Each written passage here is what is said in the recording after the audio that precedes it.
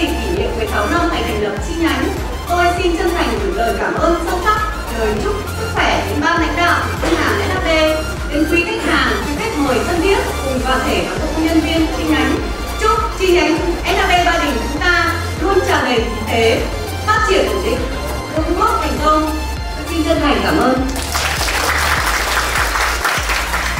Xin chúc cho toàn thể cán bộ và nhân viên chi nhánh Ba Đình và gia đình của các bạn một năm mới an khang hạnh phúc.